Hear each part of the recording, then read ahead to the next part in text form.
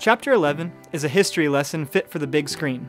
Just like any good story, we have a protagonist and an antagonist, and the battle gives the protagonist two main types of conflict man versus man and man versus self. The man versus man conflict is between two kings. One, the newly appointed king of Israel, the other, an adversary taking advantage of a somewhat divided nation. The man versus self conflict is between the new king and his own sin nature. Our antagonist, Nahash the Ammonite, shows Satan like characteristics in his approach to this conflict.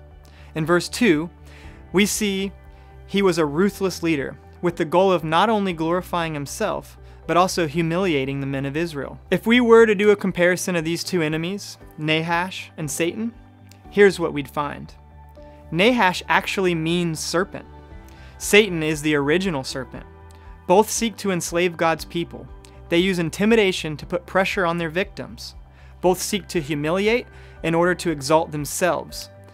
Like Nahash, Satan wants to blind us in order to render us useless in battle.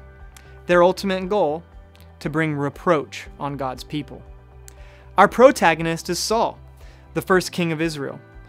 Our man versus man conflict begins after Saul hears the Ammonite king is invading the city of Jabesh Gilead. Saul must decide how to confront this enemy. Saul's victory starts where we find him in verse 5, coming behind the herd from the field. Why is this important? It shows Saul's humility. In the last chapter, we read of Saul being anointed as king, but there had never been a king in Israel before.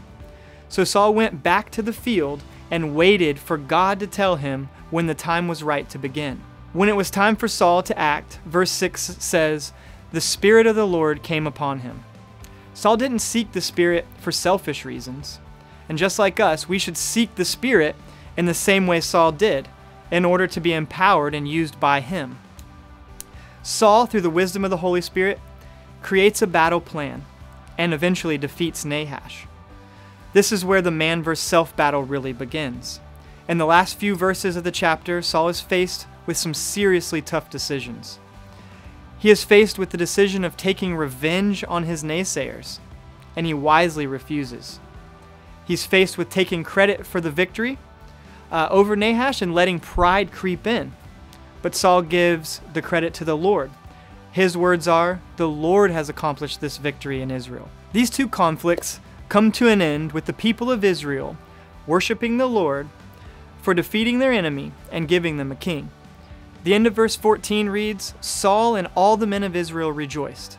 So, like Saul and the men of Israel, we too should be rejoicing in the victory of our King, the Lord Jesus Christ, who not only defeated death, but now sits at the right hand of the Father.